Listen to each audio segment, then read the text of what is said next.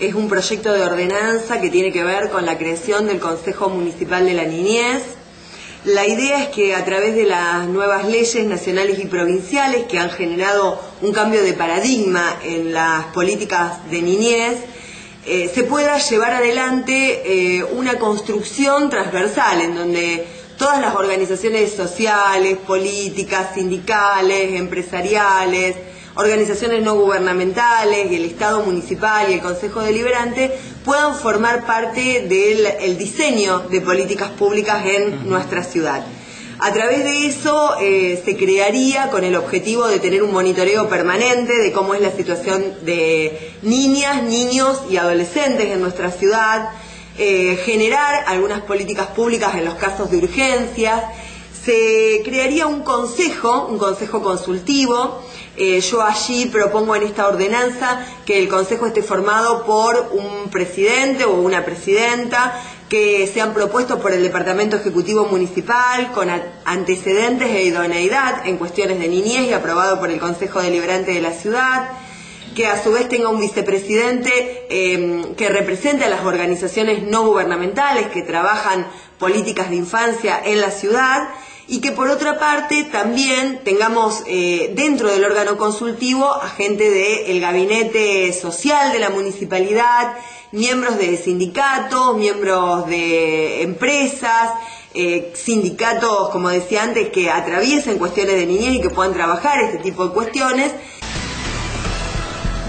y la verdad que aparentemente ha tenido una muy buena recepción, por supuesto que pasó a comisión, esto lo vamos a tratar, eh, la idea es que en comisión podamos llamar a miembros del gabinete social, que podamos seguir reuniéndonos con los miembros de la comisión del hogar de niños. Eh, esto fue pensado como una idea superadora ante la coyuntura que se ha vivido con la cuestión de que el hogarcito hoy no tiene más niños alojados en su, en su establecimiento, que bueno, que busquemos una, una etapa donde ya la gestión eh, sea una gestión asociativa, es decir, una gestión donde se le dé a las organizaciones de la sociedad civil, pero también a las organizaciones políticas, sindicales, empresariales de la ciudad, un rol importante en el debate de estas políticas que no van a ser solo del actual gobierno municipal, sino que seguramente van a ser políticas públicas a largo plazo, que tienen que ver con qué mirada tenemos los firmatenses de nuestras niñas y niños, eh, cómo consideramos que se tiene que construir ciudadanía y restitución de derechos respecto de ellos. Y bueno, nosotras, este, obviamente que como mujeres y tratando siempre cuestiones de género,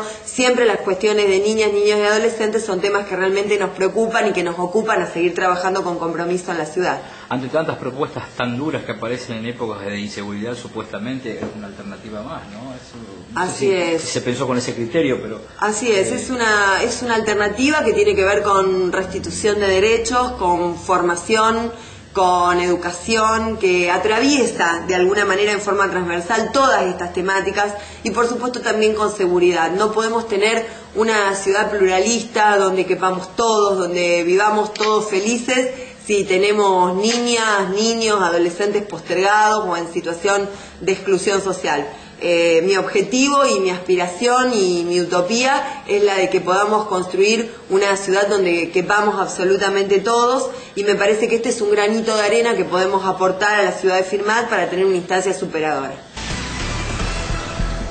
Estos días se está discutiendo y se está hablando mucho del tema del impuesto rural. Eh, pareciera que en el gobierno provincial todavía hay dos posturas. Ustedes han manifestado que hay que rever bien cómo es la situación. Por lo tanto, el socialismo sostiene que bueno que hay que aplicarla sí o sí porque así lo amerita la necesidad de la provincia. ¿Qué, ¿Cuál es en realidad la postura que tiene el radicalismo con esto? ¿Y por qué el radicalismo tomó esta postura? No, a ver, nosotros no decimos que no hay que aumentar el, el impuesto inmobiliario rural ni el urbano. Entendemos que hay que aumentarlo, que es un impuesto que está sumamente desactualizado.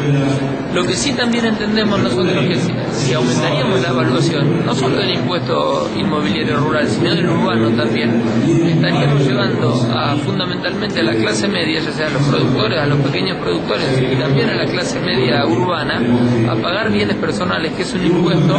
que se llevó adelante en el año 2000 cuando estaba el 1.1 y se puso un, un comienzo para ese impuesto de 300 mil dólares pesos en ese momento que hoy quedó en 300 mil pesos.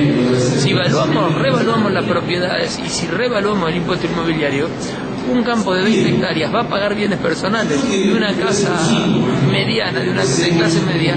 va a hacer que esa persona pague bienes personales. Y lo que entiende la Unión Cívica Radical es que si no se corrige ese impuesto en el orden nacional,